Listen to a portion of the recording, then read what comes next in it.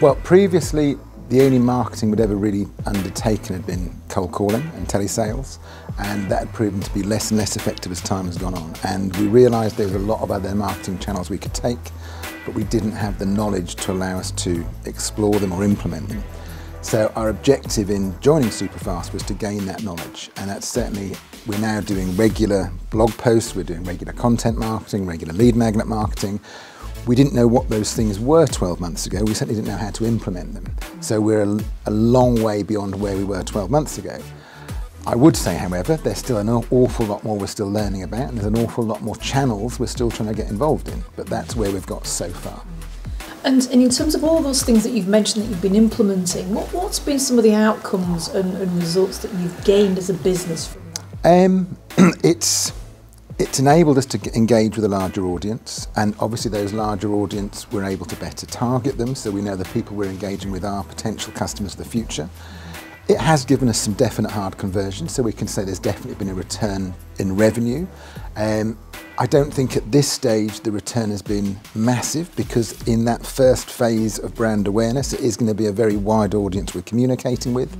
I think the next stage, which is our next 12 month plan, is going to implement the next stages that take them from those people casually viewing us to hopefully moving those who are interested through the buying process. So that's where we're going to get the real returns. It's been a definite return, but the longer term will give us the more, more valuable return. And what, what has it been like working with Sharon Denise and the Superfast team over the last year?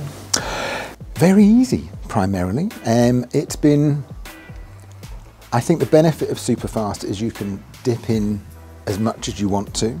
Um, whether it is attending the regular weekly conference calls um, and just listening to them, there's always valuable information gained from what other people are asking. They're asking questions you've never even thought of, and you suddenly realise that the question they asked has value to your business, so that has a definite value.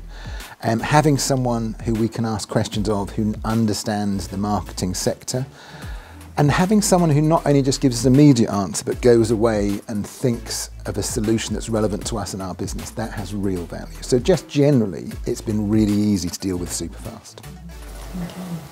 And what would be an example perhaps where you, for you personally, you feel that Superfast have gone above and beyond um, in terms of how they've served you and your business?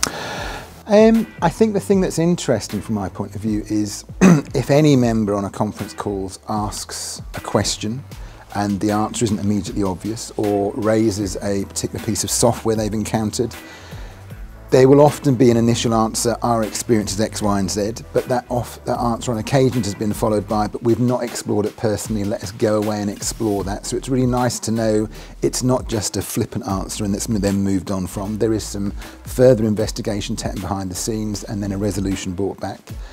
But equally, it was really interesting when I came to Superfast and said, I'm really interested in having this lead magnet for my clients there would have been the opportunity for Superfast to say, well, we can do that for you as content writers. But what was really interesting, they said, well, we think that has value to the whole group. We will write that as a regular lead magnet in conjunction with you. That was really going beyond the, the norm.